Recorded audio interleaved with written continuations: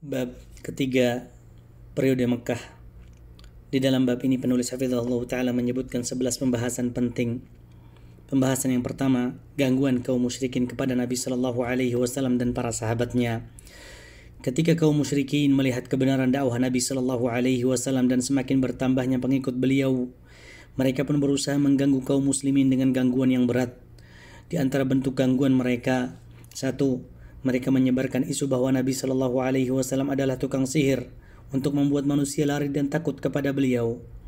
Dua, mereka menyebarkan isu bahwa Nabi Shallallahu Alaihi Wasallam adalah orang gila agar manusia menganggap beliau orang bodoh. Tiga, mereka menyebarkan isu bahwa Nabi Shallallahu Alaihi Wasallam itu pendusta, padahal tuduhan tersebut terbantahkan dengan sendirinya karena Nabi Shallallahu Alaihi Wasallam dikenal di tengah-tengah mereka sebagai Al-Amin karena kejujuran dan amanahnya. Empat, beliau Shallallahu Alaihi Wasallam dan risalah yang dibawanya senantiasa dicemooh.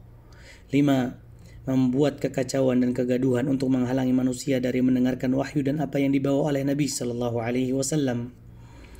Enam, menyambut orang-orang yang datang dari luar kota Makkah untuk ibadah umroh, haji atau selainnya dengan tujuan memperingatkan mereka agar menjauhi Nabi Shallallahu Alaihi Wasallam.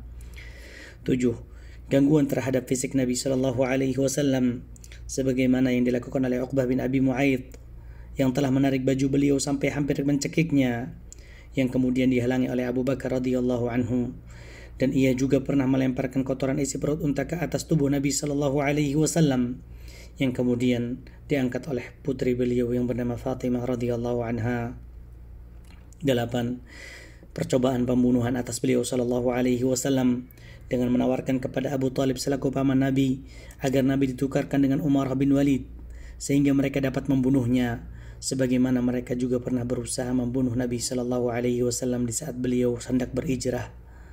9. Menindas orang-orang lemah dari kalangan kaum mukminin dan menyiksa mereka dengan siksaan yang pedih sebagaimana yang mereka lakukan dahulu kepada Bilal bin Rabah Ammar bin Yasir radhiyallahu anhu dan yang lainnya.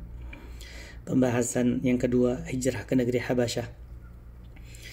Ketika kaum kufar Quraisy khawatir dengan semakin banyaknya jumlah kaum muslimin, mereka pun semakin gencar meningkatkan gangguan dan siksaannya kepada Nabi sallallahu alaihi wasallam. Maka Rasulullah sallallahu alaihi wasallam mengizinkan kaum muslimin untuk berhijrah ke negeri Habasyah.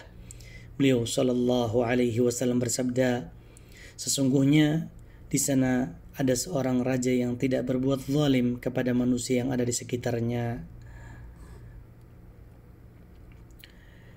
Hijrah ke negeri Habasyah melalui dua tahapan. Tahapan yang pertama adalah hijrah yang pertama dan tahapan yang kedua adalah hijrah yang kedua. Adapun hijrah yang pertama yang berangkat pada hijrah pertama ada 12 orang laki-laki dan 4 wanita di antaranya adalah Utsman bin Affan radhiyallahu anhu. Bahkan beliau adalah orang yang pertama kali hijrah bersama istrinya Ruqayyah binti Rasulullah sallallahu alaihi wasallam.